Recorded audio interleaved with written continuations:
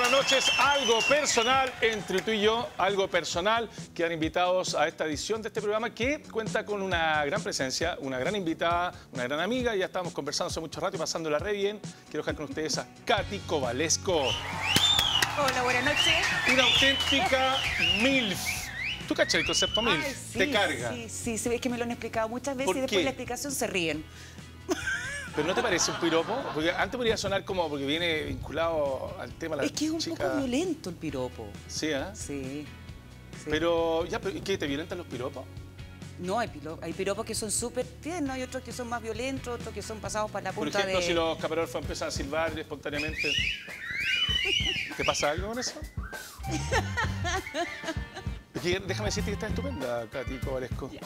Fuera de broma, yo encuentro que estás muy regia. Gracias. Oye, chiquilla, eh, gracias por venir. Este es el segundo capítulo de Algo Personal con la pantalla de UCB Televisión.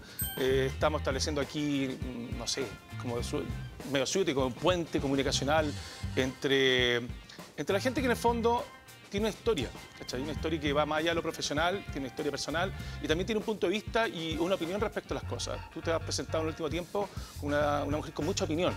De, de temas bastante polémicos. Sí, tengo aquí un montón de cosas a las cuales vamos a ir eh, Lo tienes todo profundizando. guardado. ¿Te parece que para entremos en contexto, una nota introductoria para que tú puedas hacer la edición y la corrección respecto a tu biografía? Llamo a mi abogado. Inmediatamente, si quieres. Veamos, ahí está la historia de Katy Covalesco. Catalina Covalesco tiene 50 años y es una de las actrices más queridas y admiradas en el medio. Comenzó a trabajar a los 15 años como modelo de sábado gigante. Su aporte económico en su casa era muy importante, por lo que no tuvo la oportunidad de estudiar lo que ella tanto anhelaba, la carrera de teatro. De todas maneras, peleó por convertirse en una actriz autodidacta. Debutó en teleseries en el año 1987, en la teleserie La Invitación. A lo largo de su carrera, Canal 13 es quien la ha visto crecer. Ha participado de este medio la mayor parte de su carrera y tuvo un paso breve por TVN. Durante los años 1991 y 1992, Katy dejó las tablas para experimentar en la conducción de un nuevo programa infantil en televisión nacional llamado Arboliri, espacio que le sirvió para hacerse aún más conocida por el público.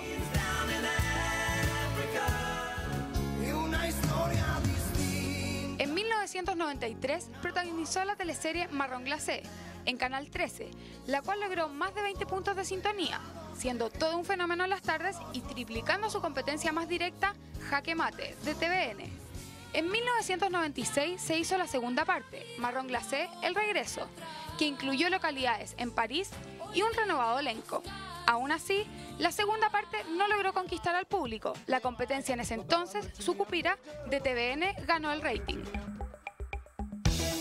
Producciones como Champaña en 1994, Fuera de Control en 1999, Tentación en el 2004, Papi Ricky en el 2007 y Las Vegas en el 2013 forman parte de su amplio currículum, además de series como Los 80, donde da vida a Nancy, y una gran serie que habla de nuestra historia como país.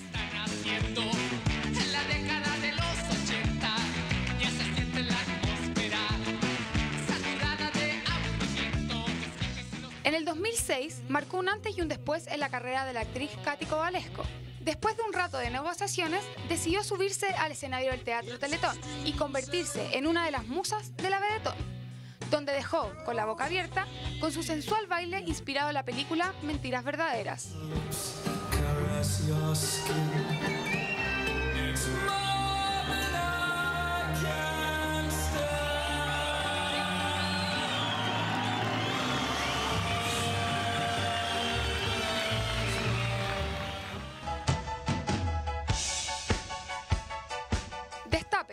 Y un rapado al cero son algunas de las cosas que la actriz no dudó en hacer para seguir creciendo profesionalmente. Desde el 2013 la actriz se incorporó al equipo de Radio Imagina y donde hasta el día de hoy sigue forjando su camino dentro de los medios. Extraordinario. Manso currículum el de la Katy. Pero vamos desde el Se me principio. cayó el carnet con el Pero para, para, para. ¿Cómo es que llegáis a los 15 años a formar parte de Sábados Gigantes? Por pituto, como es todo en este Ya, país. pero espérate, con bueno. 15 era menor de edad. Eso, Sí. ¿Quién firmó ese contrato? Es que no era tan riguroso en ese tiempo el Pero- ya, sistema pero alguien te laboral dicho- este país. Perdón. Pero perdón, pero con 15 años o no se te notaban o cambiaste la edad para poder... eh, No, no cambié la edad. No, no, no. Había gente que... ¿Qué- ¿Con quién te tocó? Aparte de don Francisco, que era lógico.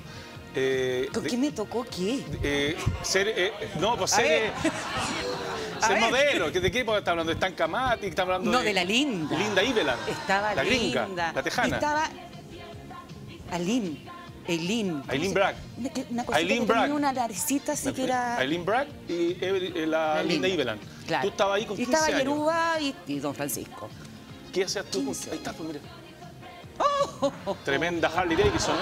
Oye, escúchame, 15 años tenía ahí. Sí. Ya, pero ¿cómo llegaste? ¿Te- ¿Alguien te Porque buscó? ¿Hiciste dentro del casting? equipo trabajaba un amigo mío que, que era un amigo de hace tiempo y sabía la situación que tenía en mi casa con un papá que estaba enfermo, que al igual que el día de hoy mantener un- una dieta de remedios Eh, es algo oneroso y que a nosotros nos costaba mucho. Entonces, estuvo esta oportunidad de trabajar un día a la semana, que era eso, eh, súper cuidado, porque además yo llegaba de jumper, era chica.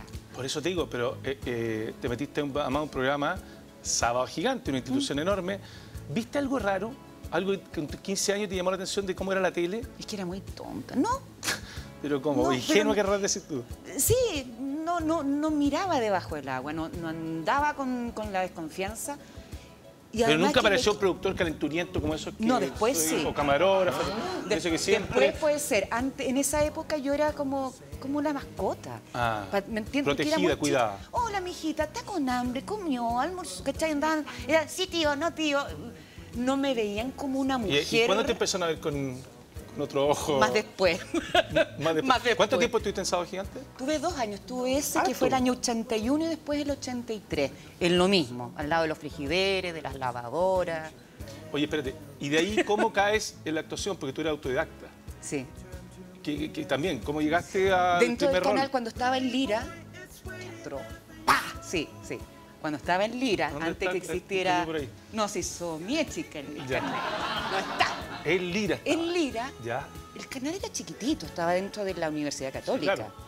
Y estaba todo junto con todo, estaba, me acuerdo, Teleduc, cuando se hacía Teleduc en, en Santiago. Sí, Teleduc. Eh, ¿Por Cristian Campo. ríen? Cristian Campo hacía Teleduc un en esa tremendo programa. Sí, pero enorme. Teleduc. ríen. Sí. Eh, y uno pasaba los currículums adentro como para hacer extras de continuidad. Que Ya, eran pues, sí, otros hay anécdotas, dicen que incluso Pavlovich lo contrataron el 13 porque era tan alto que con lo- él podía cambiar los focos. En serio, dicen que por eso se quedó Pavlovich en el canal 13. Es enorme. Pero no, si no Oye, que son.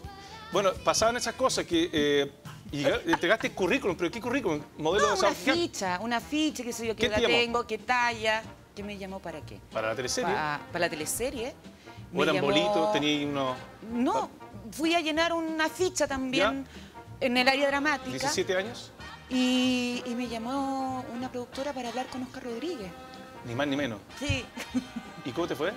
Eh, mal. ¿Por qué? Porque hablé con Oscar. Yo no lo Muy buen mozo el hombre, ¿eh? en esa época. Él le partió como camarógrafo en Canal 13, ¿se acuerdan? Cablista, dijo él. Ah, ya. Él andaba con los cables y Y así terminó fue director de y terminó ¿Y gran ahí? director. Eh, me dijo, ¿sabes qué? Necesitaba hablar contigo porque si bien es un personaje muy chiquitito, pero necesito que sea una actriz, porque esto va a tener consecuencias en el desarrollo de la historia, etcétera. Y me empieza a explicar lo que tenía que hacer, que no era estar de extra de continuidad, era un poquito más. Y Y mm, no quedó. no, lo que pasa es que yo en la ficha pusieron estudios y yo hice la, la Ya.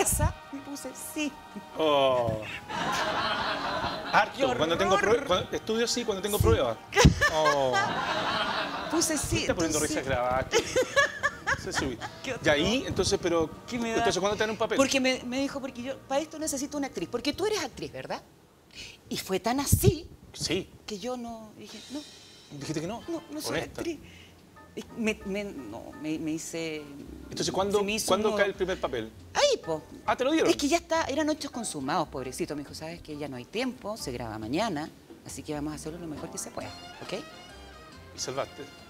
Muy correcto, ¿ah? nunca Sí, hubo un maltrato un ni nada, pero, pero también siento que para él fue un balde de agua fría el encontrarse con esta sorpresa que no estaba dentro de, de- de su timing de trabajo. ¿Era lo que tú querías hacer? Sí. Más allá de una fuente de ingreso importante que podía significar por la, la- la situación económica de tu familia. Mira, yo tengo un papá que estudió arte en la Sorbona Pintaba maravilloso, ¿sí?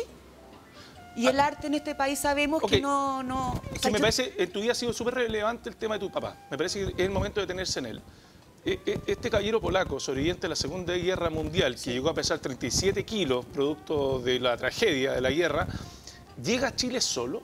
No, él llegó con, con una esposa que tenía y con un hermano mío, un medio hermano mío.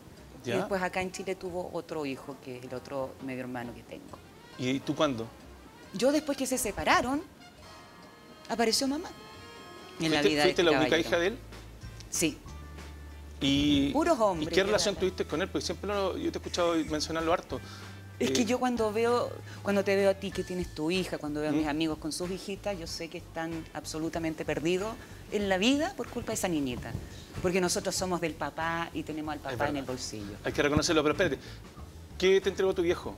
Eh, porque siendo un hombre viniendo de la guerra con todo lo que significa ese rigor, ese sufrimiento, tiene sido quizá un hombre muy austero, probablemente un hombre muy cuidadoso de los afectos por las pérdidas que se produjeron en la guerra, Muy desconfiado, desconfiado. sí. ¿Qué te entregó a ti o qué te quedó a ti de él? Lo gozadora, fíjate. Mi, mi papá, a diferencia de otras Dijo personas... gozadora, hombre, gozadora. ¿Ya? ¿Qué- ¿Qué entendieron? ¿Y por qué? Porque tu, tu viejo no se privaba de nada después de la... Porque, claro, mi papá el primer tuvo seis infartos. Chuata. Al primer infarto, el, el doctor le dijo, ¿sabe que iba a tener que hacer esta dieta? Y le pasó un librito. Una dieta que era espantosa, o sea, nada de sal, nada de azúcar, nada de nada. Una dieta. Mi papá llegó a la, a la casa, agarró el librito y lo botó a la basura. Y le dijo a mi madre, que era la que cocinaba, ya me morí una vez en mi vida de hambre. Hoy día sé que me voy a morir igual y me quiero morir feliz. Siguió comiendo torta, siguió comiendo pan con mantequilla, mantequilla con pan, siguió comiendo manjar, frituras, todo lo que no podía comer. Fue una opción de vida. Porque decidió, después de haber pasado algo tan terrible como es una guerra, ser feliz. ¿Y nunca volvió a Polonia? ¿Se quedó en Chile para siempre? No, porque nosotros teníamos una dictadura acá en Chile Sí. y allá también había una dictadura. Sí, claro. Entonces mi papá si Una- entraba también Una era un- comunista y era una dictadura derecha. complicado. Ya, pues, pero, pero por lo mismo tu viejo se sentía cómodo en Chile.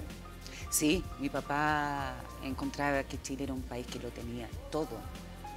Además sentía que era un país muy rico, mal administrado. Yo creo que es algo que no ha cambiado no ha mucho. cambiado mucho. Oye, ¿y, y- y por qué decías tú que tenía, tenía un, eh, un acervo cultural importante tu papá? Hablaste de... ¿Cuál era su formación? No, refiriéndonos al arte, que no, el arte no pasa por, por, por el objetivo económico que uno tenga en la vida, Ya. pasa por la pasión. Y eso te inculcó. Claro, mientras uno tenga pasión en la vida para hacer lo que sea, hay que jugársela. Yo creo que si mi papá le hubiese dicho que quiere estudiar leyes, insisto, mi papá no habría entendido mucho.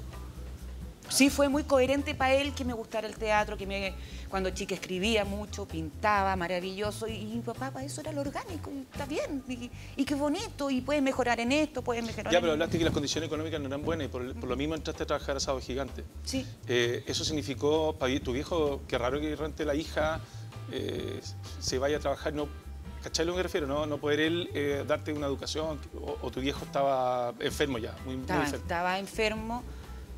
Y además que mis papás me dieron una, una- una cantidad de información como para que yo fuera una persona independiente y me pudiera manejar en otros entornos que no fuera, fuera de la casa, ¿te das cuenta? Uno en la casa hace lo que quiere y en el fondo es, es mucho más regalón, más flojo que afuera. Obvio. Yo tenía una, una formación que que en mi oficio me ha ayudado mucho, que, que es la disciplina, es la perseverancia, el, el ser matea. Yo creo que siempre sirve en, en- en lo que tú hagas en la vida. Sí, es verdad. Oye, espérate, y de ahí, eh, ¿qué pasa contigo? Eh, ya estamos en las teleseries, ¿Te- eh, relación de pareja. ¿Te Ah, engancháis? estáis haciendo una mezcla. No, no, no. Yo entre a medio me- trabajar, estás en me- teleseries, ya claro, estamos salí más de Tenemos, Me casé, tuve el- ¿Te ese- casaste saliendo de cuarto medio? Claro, que tuve ese episodio que, que también he dado testimonio de Sí, maltrato y claro. todo, que estuve un tiempo viviendo en el norte y después volví y, y volví aquí el- justamente el 83 ya de ¿Cuánto vuelta. duró a ese periodo? Que es como el periodo más duro y puro seis tuyo. meses. ¿Cuánto? Seis meses que fueron. No fue tanto, pero pero fueron sido como un siglo. Fue un siglo. Vuelves a Santiago. Sí. ¿Cómo sigue tu vida? Nada, ahí se destapa la olla de lo que pasa en el norte con, con este matrimonio y, y se armó muy rápidamente un, un entorno protector con mi familia, con mis mejores amigos y, y teniendo súper claro, y con terapia, yo también, y teniendo súper claro que, que hay que seguir. O sea, por suerte era joven, que estaba recién empezando, y ese era el discurso. ¿Te reinsertaste laboralmente rápido? Sí, volví a tocar puertas en Sábado Gigante para hacer algo. ¿Y? Y dijeron, bueno, ya, vengo. Qué buena onda igual. Sí. En ese tiempo era el tiempo de don Eliodoro Yáñez, que había... Eliodoro Rodríguez. perdón. Que había otra... Era, era un canal... Tengo muy bonitos recuerdos de ese tiempo, un Canal 13, en donde, donde era una cosa más familiar, donde pasaban cosas sindicales fuertes, emocionantes, donde... Yo creo que esa fue la última vez que vi a los empleados con la camiseta puesta de su empresa de verdad. Supiste que se murió Riquelme, ¿no?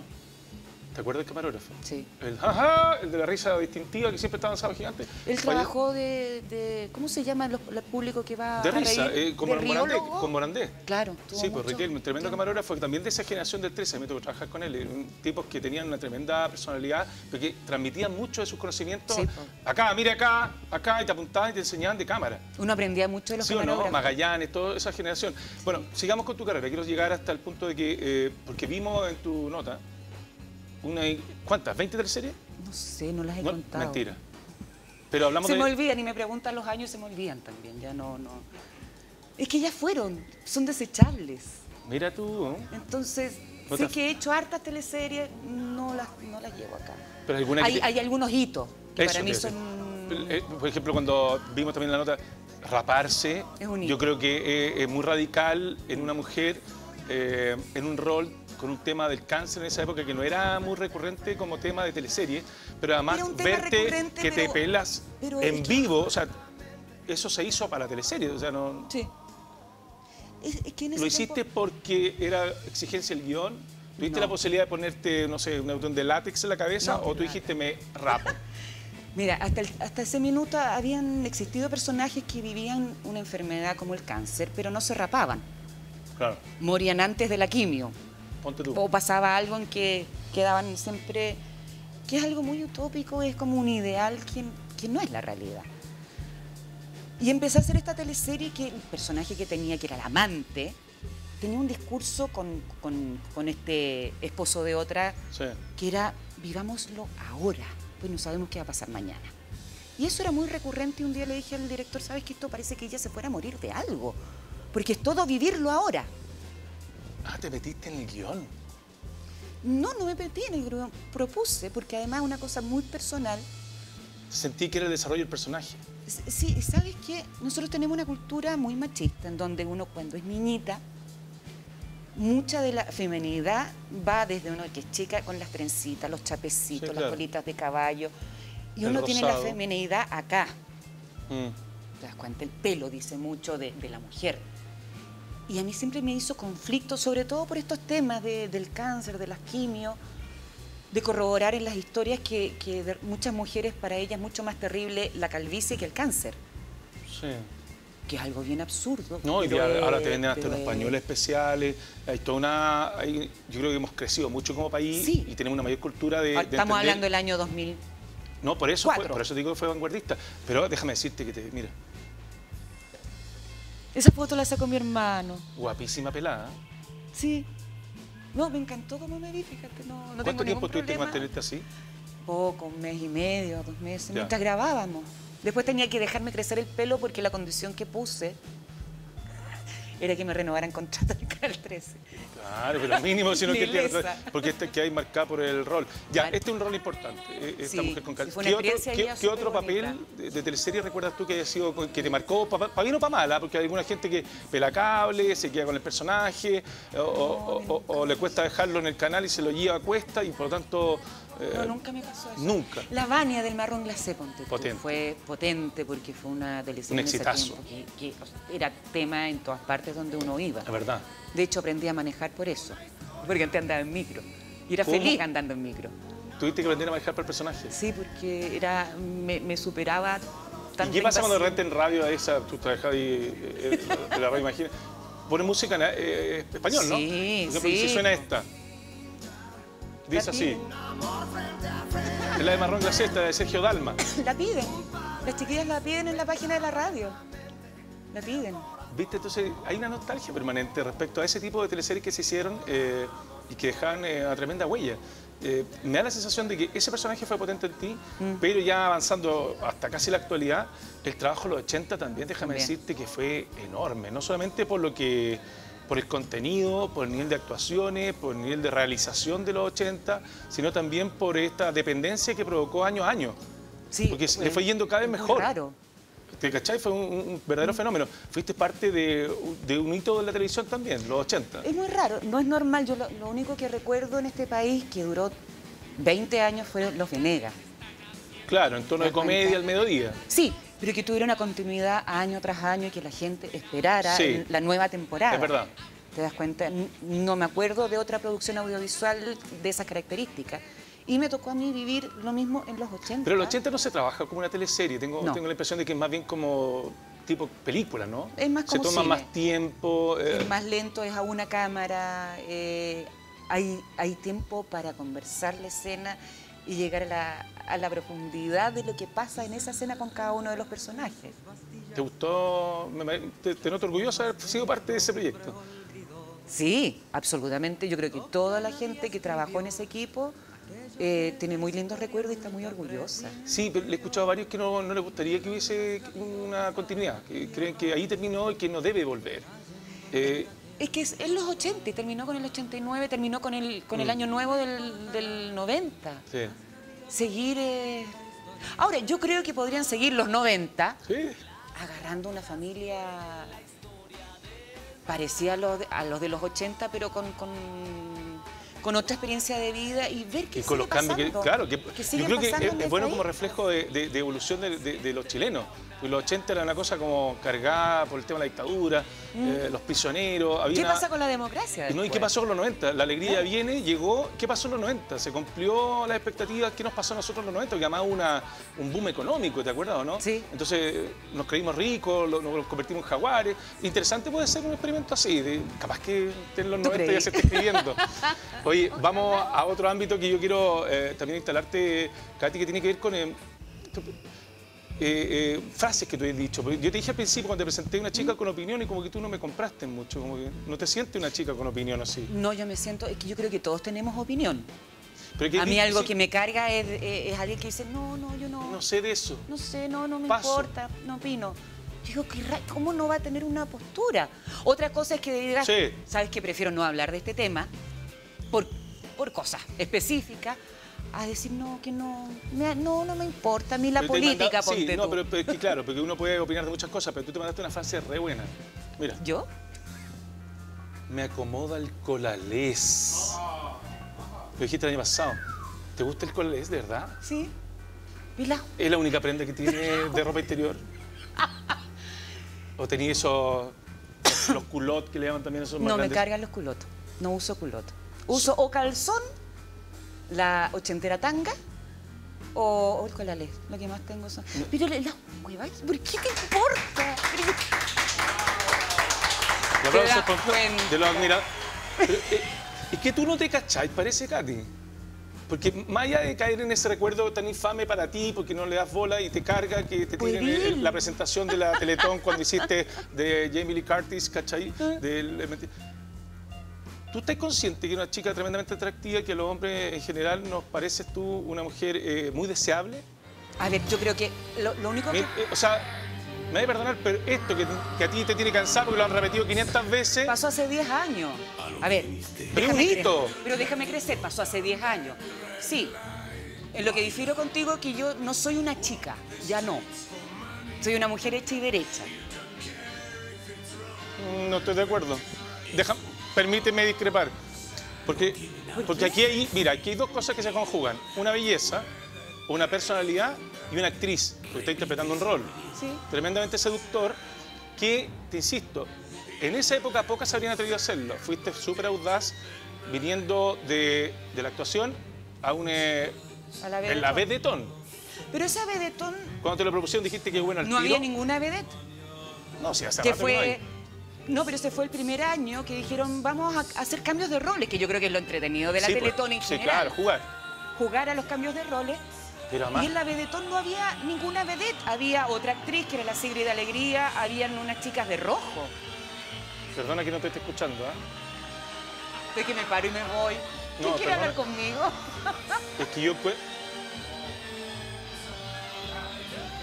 Es, es que esto hay que comentarlo. Yo ahí, que no está actuando, ¿ah? Fuera de broma, es que estáis muy buena. Eh, eh, y creo que eso, te insisto, alimentó a muchas eh, mujeres Sí. en el sentido de atreverse a jugar y, y ser más audaces y atrevidas, ¿cachai? Porque están muy guapas, chiquillas. ¿Te preparaste de una manera especial? ¿Te estresó el ser No. parte de eso?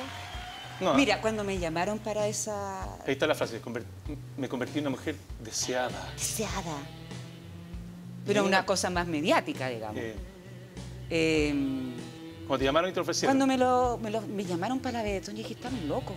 Recién había hecho una teleserie donde era una stripteasera. Y por eso me llamaron, digamos.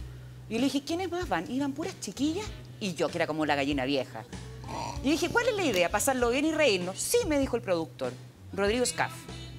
Que lo nombro acá y le mando Sí, cariño. un calentu- Digo, un, eh, un profesional muy... Bueno, en fin. Y le dije, ¿cuál es la idea? ¿Pasarlo bien, reírnos?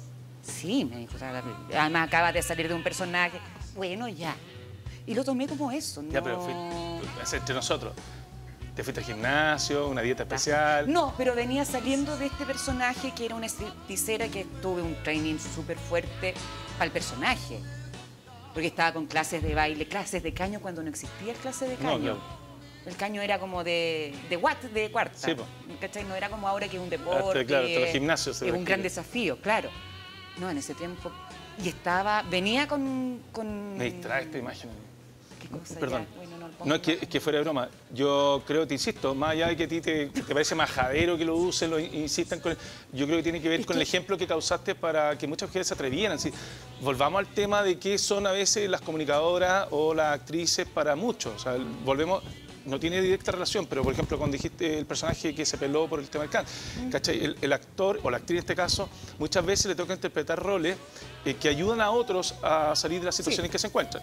Y en este Ya caso hablábamos de una mujer que, según tu propia descripción, ya estaba grande, madura y pensaba que esto no era un rol que le correspondiera. Y lo hiciste súper bien. igual, lo pasé muy bien. Pasaste bien. Lo pasé bien, fíjate. Nunca me imaginé la avalancha que iba a venir mediática. portada del diario. De todos los diarios, Sí, perdón. todos. Nunca había tenido tanta portada como cuando salí en la Vedetón en calzón y sostén. Y dije yo, por Qué Dios, buena. qué importante salir en ropa interior en este país. Y, y sí, ahí me cambió también mi trabajo. O sea, descubrieron todo que podía ser sexy, ¿Estabas en cuarentona sexy. Sí. ¿Qué opinaron? Estaba chocho. No, de hecho, entre mi marido y mi hija vimos la escena, porque la escena es mucho más larga. Sí. Había que editarla, qué sé yo, y elegimos los bailes y con ellos ensayar en la casa y todo. No, yo tengo... Después no te lo pidieron en privado, sí, ¿por qué no? ¿Ah? No recreamos la escena, no dijeron nunca más nada. Lo pasé muy bien, con, él es mi ex marido hoy día. Mira. Y es maravilloso. Oye, pero eh, yo te dije en un minuto que sonaba como a piropo, pero es real. Eh, me tinca que tú eres gusto de, mujer, de hombres jóvenes también.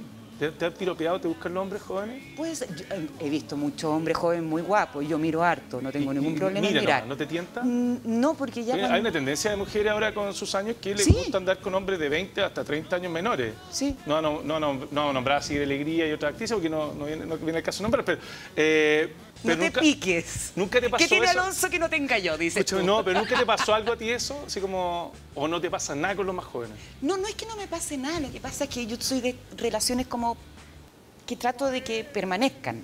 No soy de los touch and go, no me... Prefiero pasarlo bien sola. Pero... Ningún, ningún hombre menor me ha movido el piso, dijiste. ¿Mm? Pero hasta ahora, Bueno, hasta ahora. nunca digas nunca. No, nunca digas nunca, eso es verdad. No escupas al cielo. Lo que pasa es que en la conversación, en la bola más profunda, en la filosofía de vida, ahí me, me- ahí me siento vieja. Cuando Ah. tengo que empezar a explicar cosas, No te seduce el cuerpo, te seduce la, la conversa, la Sí, mente, el sí. discurso. una voz bonita bien puesta. Oh, ¿Perdón? Una voz bonita bien puesta Ah. en la oreja. Oiga, hay que tener cuidado. Sí, Acá es que, todavía no es que llega esta gente trabaja en el otro programa el, el- del trasnoche, entonces... Oye, y- y- y- pero nunca, escúchame, nunca un hombre joven te, garan- o sea, no sé, te cortejó, te, te invitó a salir y tú Sí. Y dije que sí, salimos y lo pasamos súper bien, pero no significó nada más. ¿Una vez o varias veces? No, varias veces. Por eso te dije, yo, Pero. Ahora, yo tuve un pololo tiempo atrás, una relación que duró seis años, creo que era Ya. cinco años menor. Pero emocionalmente no se notaba, po.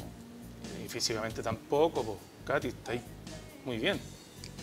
¿Te fijas? Te estoy digo en serio. Voy a Lo que creer pasa es, que, es que más allá los piropos, chiquillas, ¿tú cachai? Lo que, atrás lo hablaba con alguien y me decía, oye, eh, cuando uno tenía como 15, 16 años, y te decían, oye, murió un caballero de 49. Bueno, ya había vivido lo suyo. Sí. Y, y uno veía a la gente de 40 para arriba como unos veteranos, como una Viejito. persona... Y uno que ya está en esa y un poco más arriba, dice, pero que Es falta que respeto. Entonces, el tiempo ha cambiado. ¿me también. El tiempo cambia. como que hay una edad que la mujer tiene que estar ya con el pelito corto y no podían vestirse de cierta manera y tener cierto comportamiento. Hoy día, nada de eso. O sea, hoy día lo que importa es ser feliz, pasarla bien y disfrutar la vida concho, que es una sola. Hay un concepto mucho más hedonista y también eso la mujer le ha permitido tener, eh, se han autorizado a disfrutar más, Sí. sin los prejuicios encima. Y, y a, y a- y a- y andar como se sienten. Yo creo que eso en el fondo es como tú proyectas hoy día lo que sientes como estás. Si, si te sientes vieja es porque ah, Claro. tú ahora ves a una mujer como, como anda y dices, así está, anímicamente. Pero además se están separando muchas las de 40 y 50.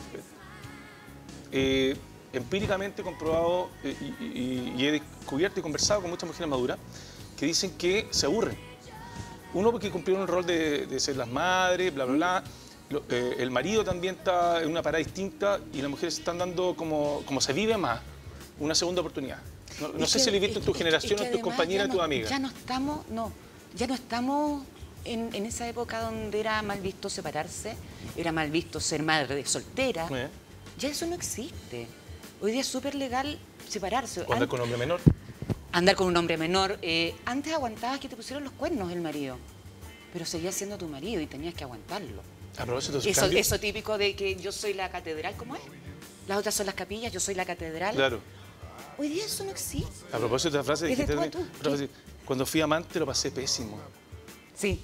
Lo dijiste esto en la cuarta, el- el- el- el- hace unos años atrás. Que no fui amante, pero fue una relación de a tres y había uno que no sabía y fue como penca. No, no, las culpas ahí me bajaron fuerte. ¿Qué, qué estabas haciendo trío en esa época? No, no eran tríos, Ah, pues había no. uno que no sabía, que era una pareja mía, no sabía. Le puse los cuernos a esa pareja. Ah, Y no, no, mal, mal. ¿pero se enteró? No. No, pero igual, no, no es que se entero, no. Es como uno llega ahí a la casa y, y decir, por Dios, El remordimiento. justamente. Pero, Culpa. lo, pero perdón, lo comí, lo bailado. No, no siempre sirve, fíjate. en Estamos ese hablando de una época no que me eh, pero estamos hablando de una época además eh, en que no sé, probablemente también la relación de pareja eh, significaba explorar, descubrir y, y- y perdóname, pero la- eh, una cosa es cómo administras tú la culpa. Pero si tenías real interés en esa persona, iba a luchar independiente de la condición en que se encontrara. Sí, puede ¿Me ser. seguí? Puede ser, pero cuando algo pasa, cuando tú te quedas solo contigo mismo. Y hay Ah. un silencio y tú empiezas a evaluar. Y dices, ¿vale la pena? ¿Qué estupidez estoy haciendo? Y ahí es cuando uno se siente mal y yo creo que eso sí es súper valedero y eso sí te dice muchas cosas. Pa' bien, pa' mal, estés de acuerdo o no. Yo creo que todos tenemos distintas opciones Obvio. Y, y- y uno los va tomando, estamos de acuerdo. Yo no lo pasé bien, esa fue mi conclusión. No, no, Pero porque fue breve, no, es que claro, no, no dio para mucho tiempo, no, no me acomodó nomás. No. pues hay gente que dura, tú cachai, décadas y mantiene una doble vida y, Sí, y se no, entera yo- después por años que había no Y que hay casas chicas con hijos, con más Sí, hijos, claro. cuando se muere el, el- Dos el familias. caballero y aparece la otra familia. en los funerales. Que yo lo encuentro súper violento. Al final tú, a ver, hace tiempo hablábamos con unos amigos también, ¿qué es la infidelidad? ¿La definieron? ¿Lograron llegar a Mira, algún, hubo un gran debate muy entretenido que era qué es ser infiel. Que yo de repente mire para el lado, estoy casada contigo, pero miro para el lado, un guachón rico, me revuelco una noche y después ni me acuerdo cómo se llama, pero estoy contigo, que soy leal a nuestro proyecto de vida, o eso ya es una traición y merece el peor de los que hay- castigos. Que Katy, extremo. Hay gente que encuentra que eh, mirar a alguien ya puede ser un acto de infidelidad, pensar en otro puede ser un acto de infidelidad. Yo, yo en lo eso. personal creo que podemos distinguir dos grandes grupos. hay una fidelidad que tiene que ver con lo físico, que incluye eh, la fidelidad también emocional. Y hay gente que ha podido separar eso y tiene una fidelidad emocional, es decir, no abandono a la persona con quien estoy, pero me doy permisos para tener encuentros físicos con otras, ¿cachai? Y esa persona puede llegar a concluir que no es infiel, porque finalmente puede a sí convencerse que la infidelidad es un ¿qué acto es? de, de afecto, de amor, de mi amor por ti es exclusivo, pero mi cuerpo no. Claro. No te pertenece, es mío Al y yo lo administro ¿cómo- como quiere. Mi corazón es tuyo, pero creo- el resto del cuerpo Claro. es mío. Yo creo que ¿Me ahí te tienes que Es poner de una de moralidad acuerdo. cuestionable, pero Es que te tenés que poner de acuerdo con tu pareja, con nadie más. Creo yo. ya más porque los- entre los límites morales que hoy día son eh, bastante discutibles, porque en el fondo, como decís Claro. tú, si, lo- si la otra persona capaz que esté enterada y siente que así funciona, Claro. Hay matrimonios donde que se habla tanto de que él quiere una mujer bonita a su lado para ir a las reuniones de empresa y la mujer bonita lo que quiera es la, la- la- la tarjeta de crédito platino. social que le entrega. Y eso puede ser una muy buena sociedad y puede ser una relación muy amorosa. ¿Quién sabe? Yo creo. Hay gente que dura años así y lo pasan chacho. Y no tienen culpa, no tienen ningún conflicto. ¿Estás pololeando? No. ¿Por qué? No voy a cachar, quería saber. po. Eh, ¿Estás cómoda así? Sí. Yo conocí Muy chicas, tengo cómoda. hartas amigas que, que no duran nada sola. No, no- les cuesta administrarse a sí misma eh, en lo emocional si no tienen a alguien al lado, aunque sea el- pelafustán, un- o sea, un- uno de, los malos, eso. Que, Pobrecito. y no, y, Que el la chi- asustan. y no, y el peor es nada en el fondo. Eh, y hay otras chicas que tienen una- un respeto, un cariño por sí mismas, eh, una independencia emocional eh, tan grande que eh, dejan pasar a los next, ¿cachai? Están esperando al que les toca, al que, le, al que le- realmente le vale la, pena, ¿cachai? Mm. Eh, de ese punto de vista, ¿tú has llegado a una conclusión de que no voy a estar con alguien por no estar sola? Es que yo no, a ver, no quiero estar con, con alguien puerta adentro, eso lo decía hace muchos años. Mira, No me interesa. Y siempre digo, con suerte aguanto mi madre y mi hija con las que vivo, que son de mi sangre. Imagínate un pobre enamorado con, con la poca tolerancia y el egoísmo que yo tengo para mi espacio. ya. Es conflictivo para mí el, el día a día. Prefiero puerta afuera. Y lo otro que, que vengo saliendo de relaciones muy largas, Sí, muy largas. dos matrimonios. No, un matrimonio y una relación de pareja puerta afuera, pero sumamente formal, eh, vivía concho. Y también, o sea, ahora estoy sola, salgo con mi gente amiga, si quiero me quedo en mi casa, si quiero ando sola, si quiero me hago la coqueta y salgo a cenar con algún caballero, obvio, pues si tonta no soy, po. No, no soy que da. No es que me carguen los hombres, me encantan los hombres. Me encantan además cuando ponen el, se ponen en el plan de seductor. Uno que ya está más vieja por tomar el palco y uno disfruta mucho eso. Pero ¿cachai los clichés? que Este, este gallo se fue. No, por- y las miradas, y de repente el, como el, el silencio, eso, pasaron los angelitos y te están mirando y. ¡ay, qué rico! Oye, Lo gozo. ¿Qué dice tu hija de esto? ¿Tu hija le, gusta- le gustaría, le gusta irte acompañada o te respeta cómo estás? Oye, también está pensando en mamá, me gustaría que estuviera con un hombre. ¿Cómo te llevas con tu hija? ¿Qué edad tiene ella? 17. Es grande. Es grande, es grande. O sea, es una partner, una amiga tuya. Es mi hija. No. Ah, Tenemos el rol. con- conversamos mucho, mucho, y filosofamos mucho Ya. y todo. Pero siempre hay un, hay un límite. Una vez mi hija me dijo, mamá, yo te cuento todo lo que me pasa a mí. cuéntame tú a mí. ¿Y por qué tú no me cuentas tus cosas cuando me vio como unas crisis Buena. el año pasado? Yo le dije, es que sabes qué, el problema es que yo soy tu mamá. Esa es la gran diferencia. Bueno, pero, pero con la Pero que, consecuencia... estés, pero que estés al lado mío y me hagas cariño y me abraces y- Ah. y nos vayamos a tomar un helado, eso igual me apoya y me sirve. O sea, no es menor, no es menor. No, te- tengo una hija linda. Ya, pero te protege. Porque cachai que Sí. con el paso del tiempo como que se empiezan a invertir los papeles. Sí. ¿Y mamá dónde va a salir?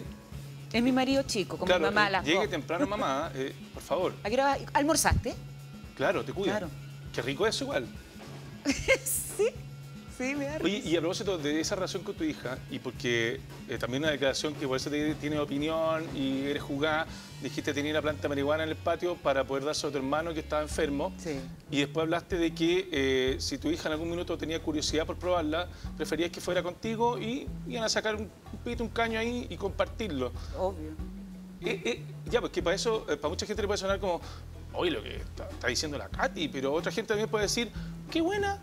Una buena forma de estar cerca de, de- de la hija y de sentir un puente fuerte es que puedan comunicarse hasta en ese plano y que no se mantenga en la línea del secreto, de lo oculto, de lo clandestino. Que sabes que en mi tiempo, en mis tiempos, los, los papás eran más autoritarios. Mi mamá era súper autoritaria. Y cuando le agarra susto a uno las conversaciones por un posible reto, uno se queda callado. Es verdad. Yo creo que uno puede ser un poquito mejor papá o mamá cuando se acuerda de su infancia. Es verdad. Y trato de hacer ese ejercicio con mi hija. Con la Micaela hemos hablado y yo creo que la única forma para que una persona joven se proteja es manteniendo mucha información. Mientras más, mejor. Hemos hablado de distintos temas, entre ellos las drogas. ¿Qué son las drogas? ¿Qué pasa en tu cuerpo con las drogas? Y a diferencia de quizás de otras personas, también involucramos como drogas el pucho, que es legal, Sí, claro, el alcohol, alcohol. Que, es, lega- que es legal, pero que también es adictivo. Sí. Y también te puede matar. Lógico. Así de simple. La marihuana, a ver, yo empecé a fumar y me agarró al tiro. El pucho fue violento en mi vida y no ha salido hasta el día de hoy. Yo llevo fumando cigarrillos hace 18, tre- más de 32 años. No es menor. Y, mm, y por lo mismo le agarré mucho resquimor al, al resto de droga. Imagínate, yo pi- pruebo cualquier cosa y que me va a agarrar igual. Entonces siempre andaba como un- muy defensiva con, con esto. Y cuando mi hermano ese que me hizo la fotografía pelada Ajá. tuvo cáncer, un cáncer muy violento que no, la- el tratamiento era peor que la enfermedad. Mm. Él vivió su cáncer y el doctor le sugirió, a modo muy personal, que ya en la época donde había dolor, donde no podías dormir, donde no comías, estabas inapetente, que se fumara unas pitias de Por el de tema de las náuseas, mejorar el apetito, dormir mejor, se relajaba. aminorar los dolores, todo lo que se sabe que a mí eso, esa experiencia, que por eso plantamos en mi Claro. casa una cosa súper escondida, muertas de susto. Me imagino. Y después para llevarla a Tongoy, donde vivía mi hermano. Pero después ver la experiencia de mi hermano como de verdad fue un bálsamo para, para ese día crucis que tenía con la enfermedad. A mí me, me hizo descu- redescubrir la marihuana. eh, La medicinal, la alternativa. medicinal ¿no? y algo que la- no es tan terrible tampoco Exacto. porque no tiene químico. Lo que sí, le dije a la Micaela, porque ella también vivió esa experiencia con su Claro. tío, digamos, con la marihuana y todo. "Ch, No le contiga a nadie que tenemos esta planta en la casa, Micaela. Vos calladita, sí, mamá, no, mamá, no te preocupes, mamá.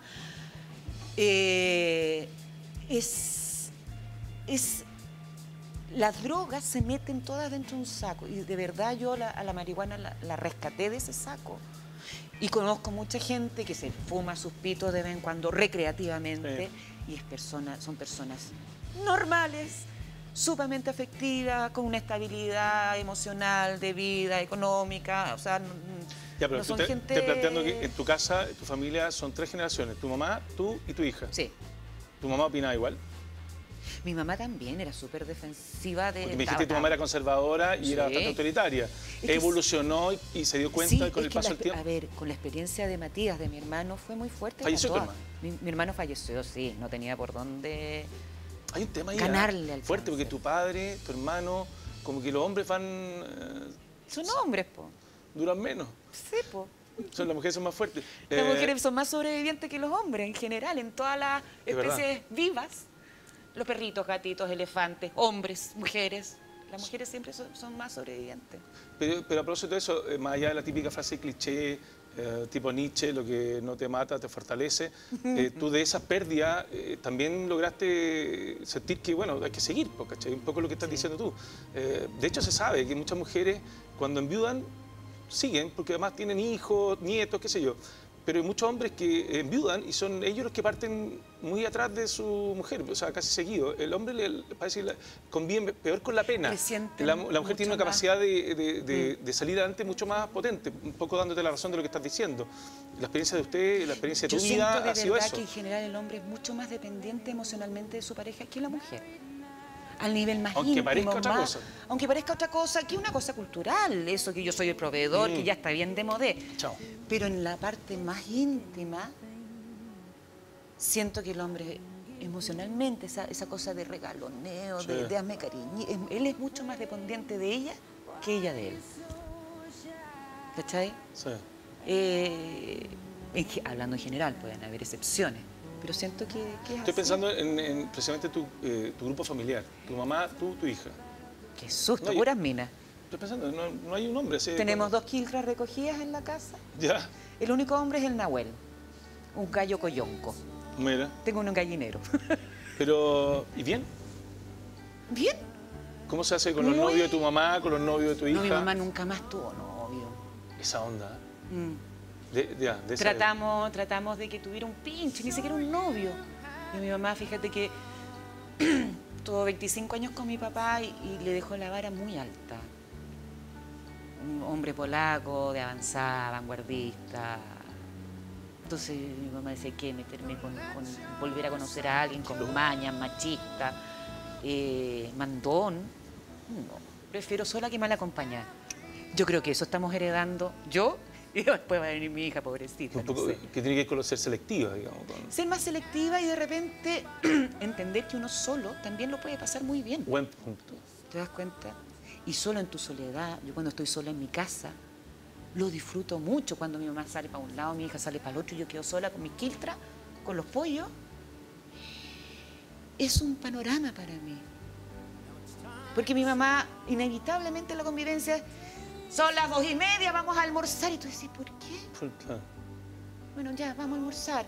O mi hija, mamá, es que tengo que hablar contigo. Tú dices, "Pucha, es mi hija, claro, tenemos que conversar, pero qué ganas de quedarme callada y no conversar ni escuchar ninguna historia. Es lo más egoísta del ser humano. Ya, pero espérate. Cuando quedáis sola, Por eso, pero hay gente que con Sí. esa situación se deprime y por eso es incapaz de no tener una pareja o de alguien que esté por ahí cerca. Y otras personas se fortalecen y agarran una vida interior enorme Sí. que la hace tremendamente, como dijeron, autosuficiente en lo emocional, pero además con una, con una postura en la vida mucho más atractiva incluso.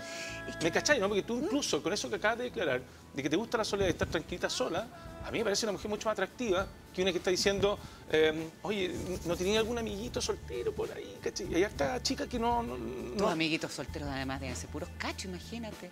A, a esta edad los amiguitos solteros No, son lo más peligroso que hay. No, y ni siquiera soltero, la mayoría viene del segundo o tercer matrimonio a esta altura. Ah, ya, eso ¿Cachai? sí, ya. Pero me- eso es más normal. Sí, pues, la edad que tengo Pero yo, que- soltero no queda.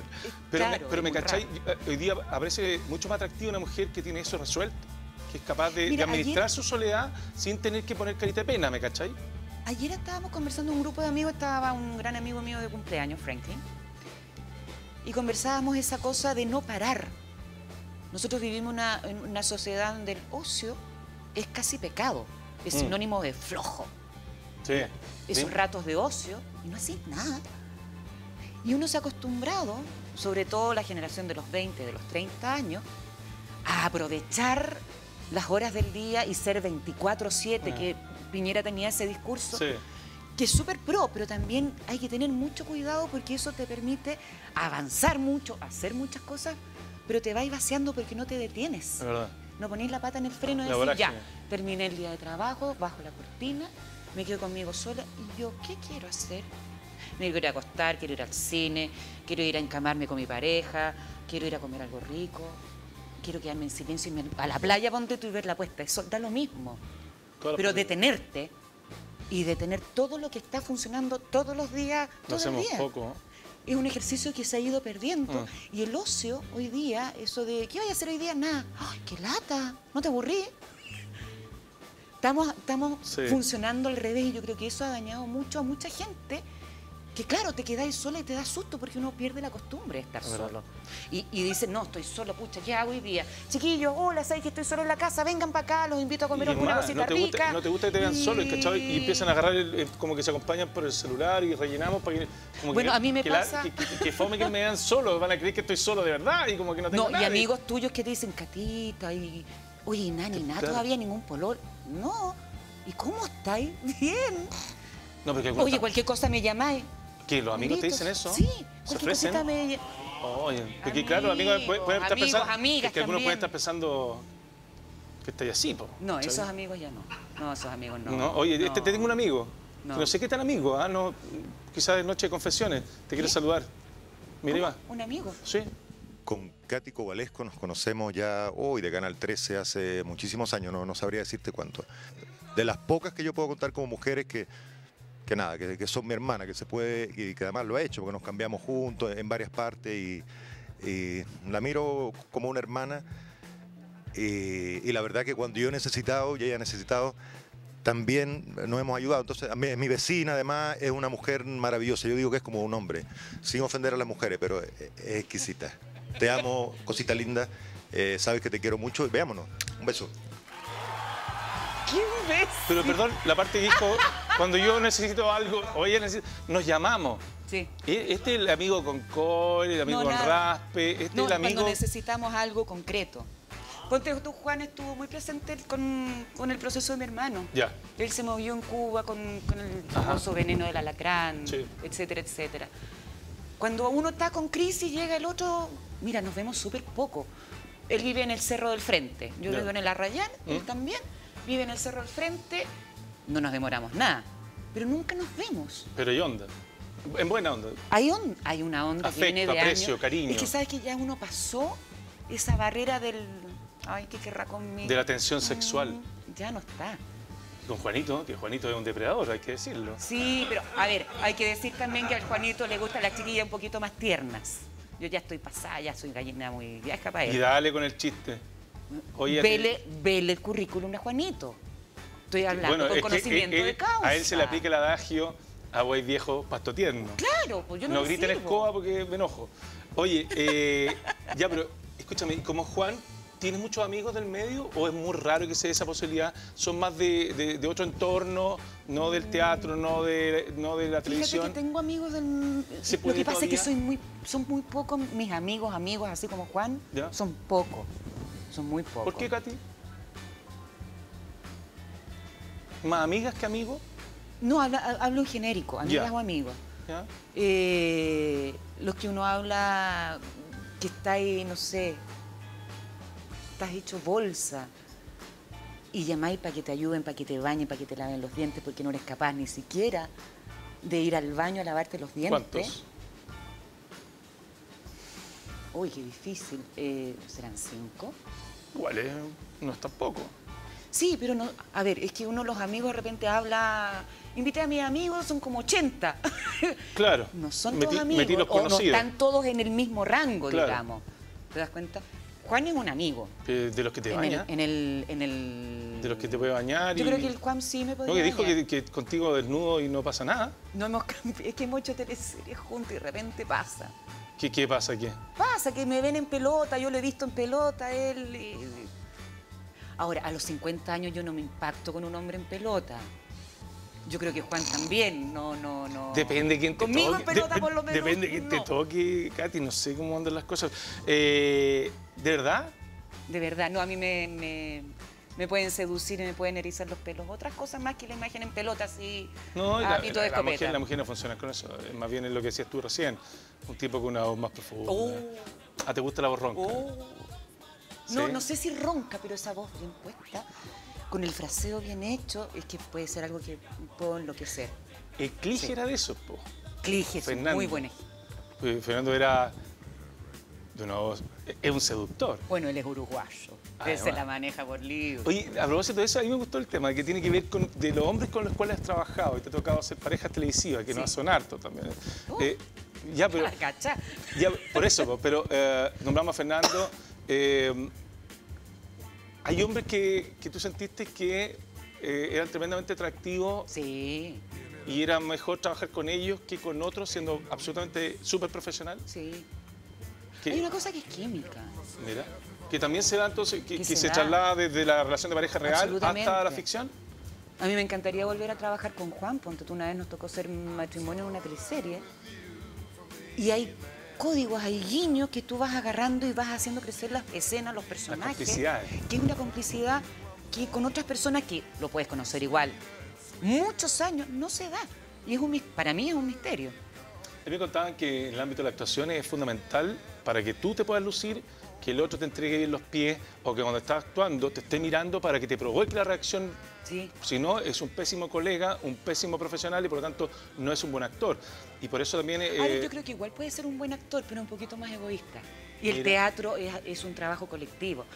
Es como lo que ustedes tienen acá. Todos dependen de todo. En una escena, el elenco, los que estén en la escena de la teleserie, Yo dependo de ti y de los actores que estén en la escena y nosotros dependemos de los camarógrafos y de los sonidistas y del iluminador, por favor, también. Sí, ¿eh? Claro, y del director que switche bien y, y el- y- y lo que le dijo, y cómo todo. le dijo y cómo lo escuchó y todo.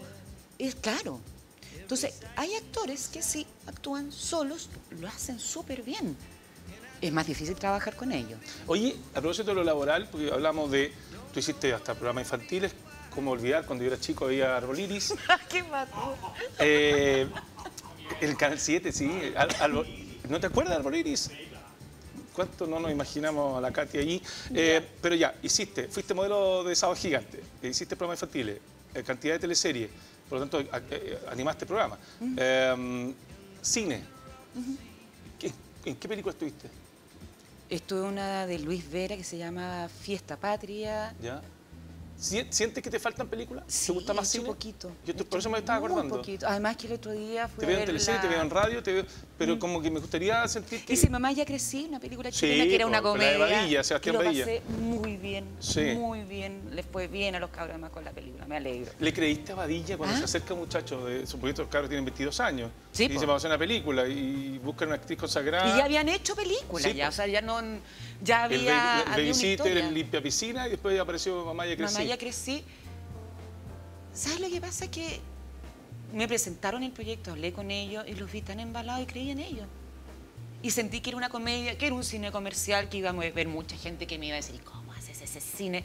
No, si el Lo elenco era enorme. Súper bien. A ver, es que tengo colegas que son como más... Estaba Fernando Larcón, no, Fernando... ortodoxo. Fernando... Larraín. Larraín, el, eh, Felipe Izquierdo. No, un No, el Felipe, el Felipe Izquierdo no estaba. No, estaba fue Fernan- anterior. La Liliana Ross, la Javier Acevedo. Sí, pues, la eh, Ross. El Lucho Larcón. Luchito Larcón. estaba también, sí. Notable. Oye, pero, pero te gustaría, eh, a propósito de la reciente entrega de los premios Oscar y todo. La Vanessa amor- Miller. La Vanessa Miller. Eh, ¿Hay algún rol de película? Porque tú, cachate, eh, Sí. la actriz en el fondo a veces tiene que esperar muchos años para que les den un rol. Dicen, eh, esto es lo que yo me tocaba.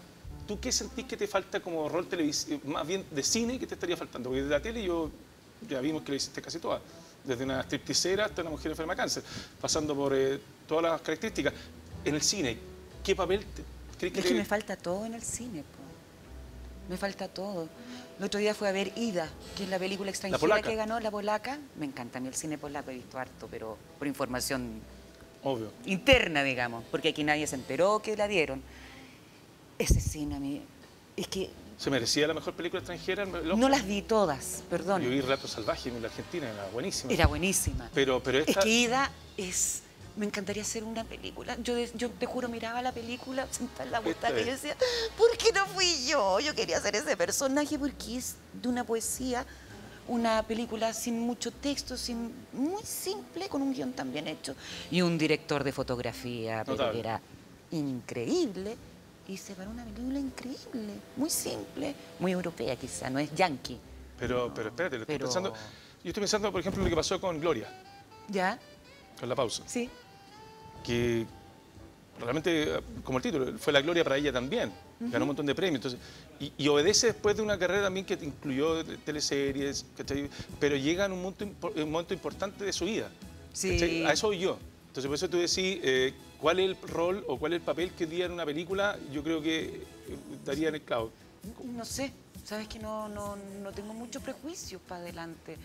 Todo lo, todo lo converso, eh, tomar café es maravilloso, conversar con las personas sobre proyectos a mí me entretiene mucho.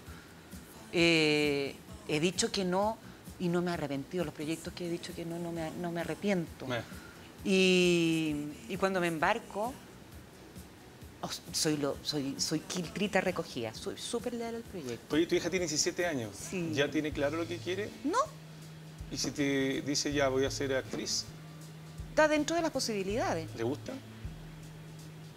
¿Te ha pedido a ti, mira, mamá, mi- por qué no me ayudáis con un director? Quisiera probar. No, no, no ha entrado en eso todavía. No, porque no ha tenido ese permiso de parte mía.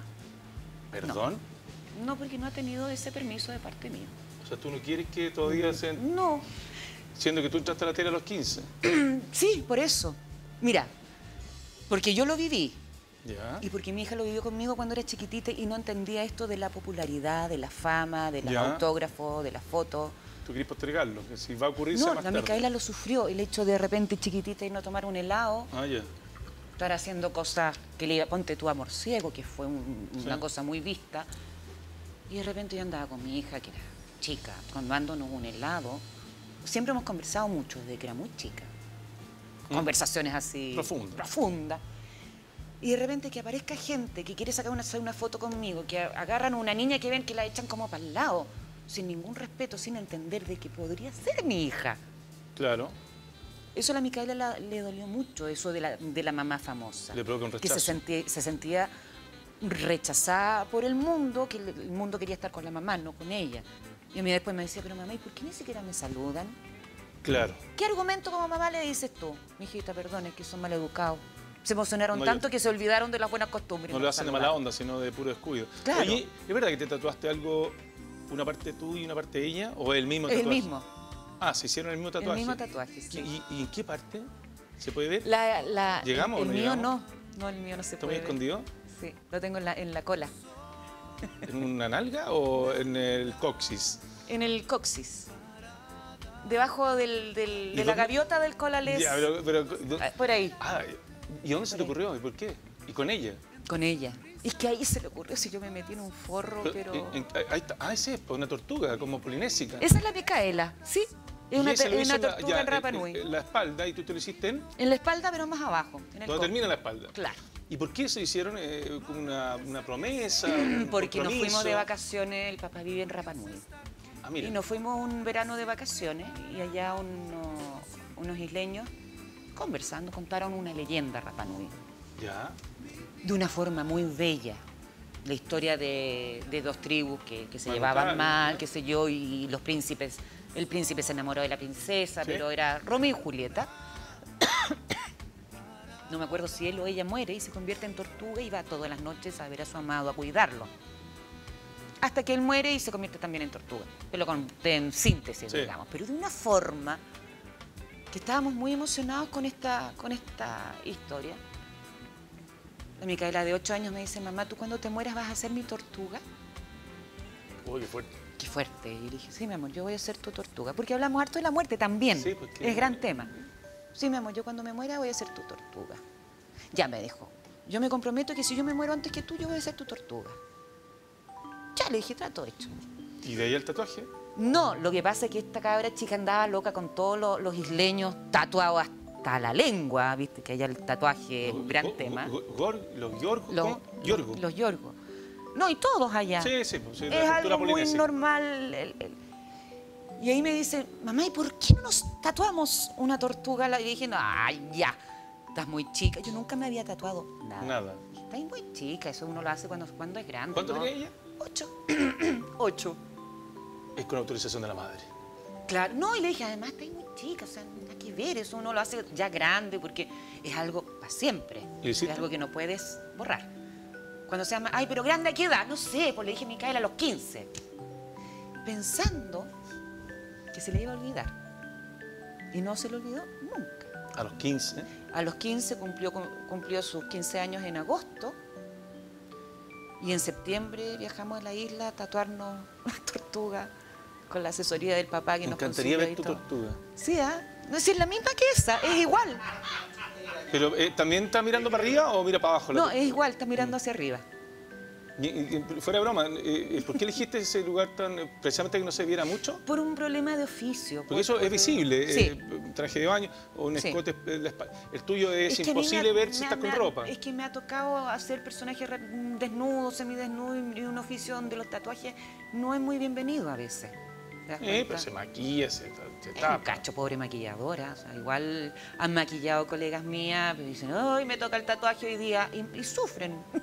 Y te hiciste en un- una zona que. Por eso no tan... en- Podía haber sido acá, podía haber sido Claro. acá.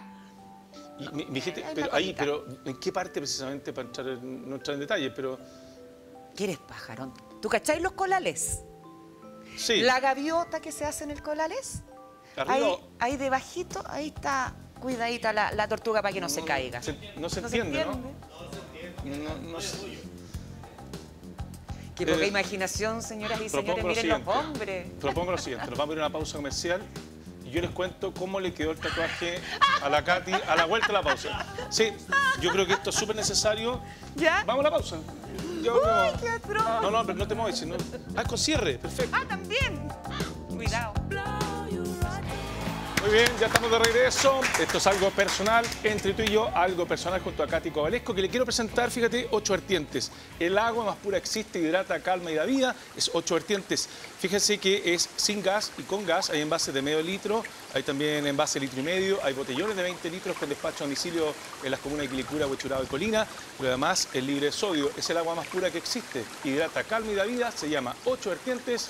Agua de vida, conoce tú también, está en todas partes. Ocho vertientes, es lo que has estado tomando. Muy Sí. saludable, muy rica. Es rica. No, yo la conocía de antes. Es muy rica. Oye, te quería contar lo siguiente. eh, ha sido un verano bastante movido en lo que es político. ¿Qué te ha parecido, Tito, esta- este tema? ¿Te cae penta, te cae cabal, te cae toda esta coyuntura? eh, Está más entretenido que las turcas. ¿Cierto? Es mejor ver las ¿Te noticias. interesa, te, te aburrió, te choqueó o tiene una, un- Choquea. una percepción ciudadana clara y, y crítica del tema? De todos los No temas. sé si Clara. Se está investigando. Se está investigando.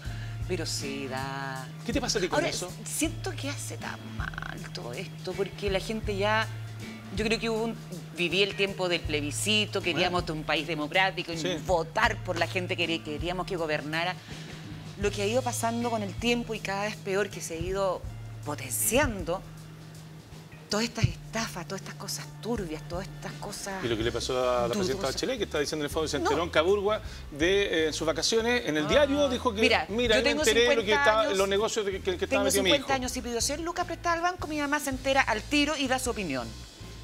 ¿Tú no le crees que, no- que no, no le sabía? creo, perdón. Por muy hijo adulto que tenga, uno conversa las cosas que está haciendo en general. Y si pides un tremendo préstamo como ese, que no es menor, que no son 100 lucas, ¿cómo no iba a saber? Perdón, yo no le creo.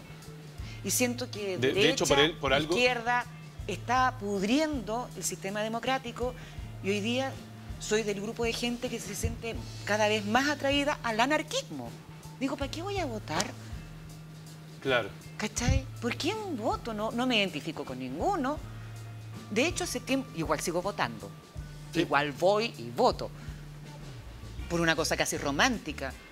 Pero que he vota- he votado por gente para manifestar mi, mi repudio al sistema. La última vez voté por Sfer. Sí. Porque me gustó su discurso, porque me encantaría que ese fuera un discurso de verdad en, en- en un, en un- en un gobierno en este país. Sabía que no, no tenía mucho destino. De hecho, no, no, pero... Pero un voto pero yo digo, rebelde. ¿Hasta cuándo?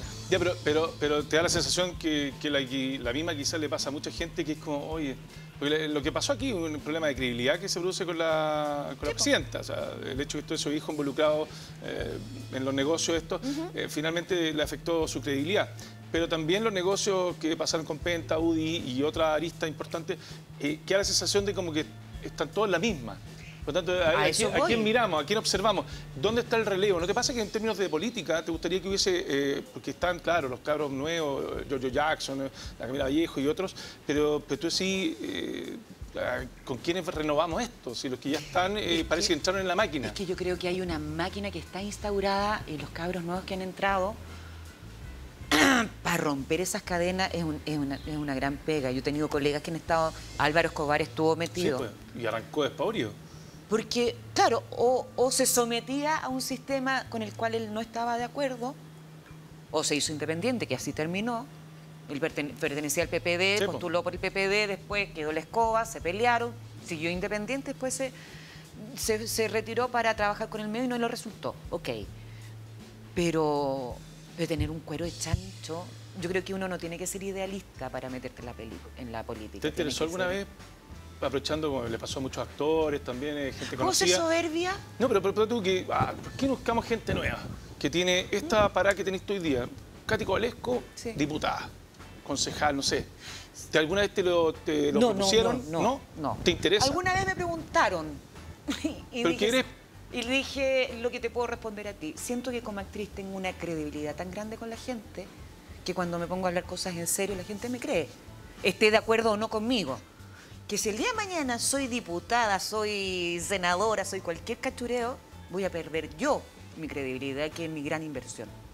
Y no me no vale la pena. Prefiero comprarme un telar en mi casa, tener más pollo para tener los huevos frescos y tener mi huerta que no, ten- no pero, tengo no te- eso, pero eso no significa quedar apática respecto a la realidad y a la contingencia. O sea, igual eres crítica. Soy crítica, me da mucha O sea, rabia. te, te informas, igual lees, Sí. ves y, y te provoca una reacción. Sí, no, te, digo, prefiero o sea, la teleserie que está pasando acá. El top ten de las teleseries es lo que está pasando a nivel político, tanto con derecha como con, con- perdón, la centro derecha con la centro izquierda, que para mí es la misma tontera, esa cosa de centro es un...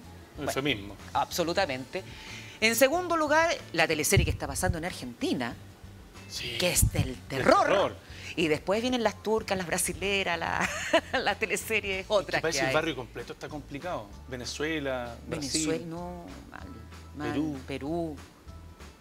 Está en Europa, bueno, ahí hay otro cuento. Por eso yo no, yo no sé si ahora estamos ¡Ay! más informados y eso también nos decepciona porque nos enteramos de más cosas que antes también ocurrían y no había investigación o, o se hacía vista gorda. Eh, eso en un plano, en el plano Sí. político. Vamos a otro plano que también tiene que ver con lo tuyo y lo nombraste. Son verdaderas teleseries. ¿Qué te pasa a ti con el fenómeno de las teleseries turcas? ¿Te, te provocó algo así como da- que bien que hagan buenas teleseries para imitar y que sean un buen ejemplo para mejorar la producción nacional? ¿O de frentón dijiste, aquí perdimos todo? No, aquí perdimos, aquí perdimos todo porque, a ver, creo que lo conversábamos, los ejecutivos llegan para hacer trabajo a corto plazo y el resultado se mide en rating y lucas. ¿Es verdad? Tú te das cuenta, acá se- hay una ley que se, que se promulgó hace poco, que son los, los horarios semanales de programación cultural. Sí. Tú sabes que en Europa eh, cultura es todo el día y hay una hora al día para hacer misceláneos, Mm. magazine, cosas más, más, más frívolas. Acá es al revés. Entonces siento súper coherente estos ejecutivos que llaman que, que no van a trabajar a largo plazo en ningún canal, porque saben que ellos no van a durar más de 3, 4 años. ¿Para qué? Me contrataron hoy día, quieren resultados mañana, ¿y qué quieren? Lucas y rating. Y empiezan a apostar. Y de hecho, el Mega le dio el palo al gato con la primera turca. Hoy día, exceptuando TVN, todos los canales han comprado turca. Y la red creo que tampoco tiene turca. ¿UCB tiene turca? No. No, pero ¿Tiene estamos comprando cuatro. No, no, no, pero es que, escúchame, ya, pero esto fue antes comprar teleseries venezolanas, teleseries, Sí. tele- teleseries mexicanas, teleseries, teleseries brasileñas o argentinas. Sí, sí, eso yo no, no veo la complicación. Yo creo que aquí también tiene que ver con un raspacacho No. a la producción nacional, un- porque también hay que hacer una que culpa o una autocrítica que parece que los guiones no, dejaron... Eso es un trabajo... Porque se siguieron haciendo teleseries, pero no les fue bien. Ese, ese es un trabajo que tienes que hacer desde el día uno que salió la turca y que tuvo tanta audiencia, que nadie lo ha hecho. ¿Por qué las teleseries turcas les va tan bien? ¿Por qué la señora en la Y son casa más se pone... que un bolero, hay que decirla. Oye, Otro no, ritmo, perdón, los 80 es súper lento. pero te atrapa, te conquista. ¿Por qué te atrapa y te conquista igual que las turcas? Mira la, la mira la comparación que estoy haciendo, los 80 con las turcas.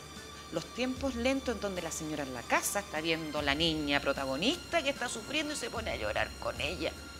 El tipo de narración, pues, que es clásica. Las teleseries hoy día, las últimas teleseries que, que se están haciendo hace 10 años ya, no las últimas, es todo rápido, corte A. Videoclip. No hay espacio para sostener una- la mirada de la pareja protagonista. Sí. La, la pareja que está enamorada y el amor imposible, lo que sea, dicen, no, esta cuestión va a guatear. Y no se atreven.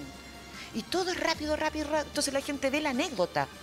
No, no Oye, ve las escucha, emociones. Y además pasó que, siente. ¿te acordás que ya por horario las nocturnas que van a ser más audaces, con algunos desnudos, contenido y temáticas más jugadas?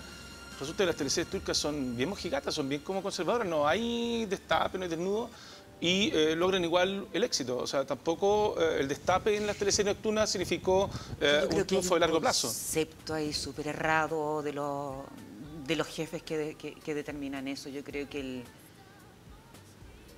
llamar al, al erotismo, al, al- a engatusar al telespectador con una pechuga al aire, no es. Yo, yo me acuerdo que en una de las teleseries turcas, no me acuerdo cuál, vi un plano sin texto donde él con ella se estaban dando un beso, ella tenía un vestido de bretel y la cámara se va a la mano de él que le baja el bretel. Nada más. Y tú sabes que tenía una carga erótica tan fuerte esa, esa mano en el bretel que bajaba, que yo dije a mi mamá, ¿te, Las ¿te sutilezas. pareció calentona la escena o estoy loca? Mi mamá dijo, sí, era bien calentona. No se vio nada. Es como, es como evocas el erotismo. Y yo creo que nosotros estamos súper mal planteados. Cuando uno ve más de un... Yo creo que le pasa a ustedes. Sí. A nosotros nos pasa. Yo ya veo más de una pechuga, tres pechugas, cinco pechugas y ya para mí son un montón de pechugas y no me pasa nada. Yo no estoy, no... Tú no sigues siendo muy adolescente. Sí, sí. Pero, pero ha pasado, ponte tú. Sí, tienes razón. Que en, en las, en las nocturnas de repente dicen hasta cuándo, en las, nocturnas, en las producciones nacionales dicen tanta escena de cama, tanta Sí. escena, ¿cómo le dicen? De, de bombeo. Bueno, De bombeo. Porque si el, Sí, sí, así sí. les llaman. Tanta pechuga al aire. ¿Para? no, y ¿Cuánto jugando con los consagrados, yo vi a Poto Pelado, eh, a Tito Noguera en una teleserie del 11, y así, Puede ser. las nalgas, así. No, así como mostrando que, que- que- que hay amplitud, pero finalmente los resultados se están midiendo con otros parámetros. Oye, de Viña, de Festival de Viña, ¿lo pescáis, lo veí? ¿Has visto algo? ¿Viste Centella anoche, o los Dinamita, o No, vi, lo- Arjona? vi lo- ¿Te las, gusta dinami- Arjona? los- las dinamitas, las quise ver, los dinamitas show. Eh, y me desvelé por las puras. No Ah, me no encontré. no, ¿eh? No tenemos de Viña. Sabéis que nosotros mandamos una representante. eh, ahí estamos viendo algunas imágenes de lo que fue la actuación de Arjona anoche. Dicen Eh, que quedó la escoba. con No, y tembló. Hay, no un chiste que hacen todos, no tiene nada que ver un tipo que viene a Chile, y pero coincidió que tembló a las dos y tanto con Pero aquí cinco. tiembla todos los Sí, a cada rato, pero días. echar los chistes ya llegó Arjona. Y esta Oh. centella el humor en Viña. Bueno, les quiero contar que en este certamen nosotros presentamos a nuestra reina, porque la- el día de la cuarta nos, nos invitó, nos insistió, y una chica del programa Talk Show, que estaba Flavia Fuseneco, se presentó. eh, Ay, qué alta. la Flavia, enorme. Eh, una chica cordobesa que nos acompaña un par de años de en talk show y haya tenido una destacada participación, fíjate, con, con consagradas como la Katy Salón y Yendelin Núñez, eh, está también Daniela Chávez. Ahí está la Flavia, a quien les mandamos desde acá eh, un montón de saludos y cariños y, y fuerza, porque en el fondo mañana es la elección. Es una cosa. Yo, yo creo que el Festival de Viña uno lo puede criticar y todo, pero es nuestro carnaval, es susceptible de mejorar y, y- y de cambiar, pero es una gran fiesta, un país que no, no celebra mucho. Eh, nos mandó saludos la Flavia, hay, un- hay una, una frase ahí, mira. Bueno, prometo eh, un piscinazo muy sensual. Tengo dos opciones y quiero dejarlas más adelante, así como por votación de los medios. Así, uno es un micro triquini súper sensual, hecho por mí, y el otro es también una, una remera así transparente, como una polera, eh, muy, muy, muy, muy transparente. Entonces, la, la idea es, bueno, entrar y en, y en la salida del piscinazo es la sorpresa, es la sensualidad. Veremos qué pasa. Mañana por la tarde se hace la elección. Son los periodistas de espectáculos que cubren el Festival de Viña los que. Los que votan. Sí. Porque estaban diciendo, hubo rumores de que lo iban a abrir al público en general por la no, cuarta, pero no, al final sí, no siempre son los, periodistas acreditados. Así que le deseamos mucha suerte a la Flavia y eh, fuerza para que logre entonces ser quizás eh, una reina para el Festival de Viña. Nos vamos a una pausa comercial, la última. Ya volvemos con más algo personal. Entre tú y yo, algo personal. Katy Cobalesco nos acompaña esta noche. Muy bien, ya estamos de regreso en algo personal, entre tú y yo, algo personal, junto a la estupenda, increíble Katy Cobalesco, que tenemos la foto del tatuaje, la tortuga en el derrier de Katy Co. Ahí está. Muy bien, Katy, gracias por compartir tu foto. Esa tortuguita no la olvidaremos nunca. Debajo, y con la les, lo dijo ella, debajo de la gaviota, ahí está entonces. Qué estupenda, qué bien te conservas. ¿Quién me Katy. encantaría tener ese trasero? Bueno, feliz. eh, pero. chequeemos. Feliz. No, está. Oye, chiquilla, regia estupenda, te voy a dar dos regalitos. Uno, un masaje de relajación de 45 minutos ¿En para mm, cuando estés estresado, bien, o cuando quieras. Va ahí y va a poder eh, tener eh, un rico masaje y también esto. Qué rico. Mira, cuando estés solita así, una copita o algo. Uno de la- unos chocolates increíbles de vos. ¿Ya? Es que, viste, esto se hace en soledad, porque si no, el convidar uno entra pérdida. No, pero comparte con tu mamá, con tu hija. Y No. quiero agradecerte, fuera de broma. No. Katy, ¿Qué? eres un agrado de mujer, A una veces. mujer más atractiva que yo he conocido.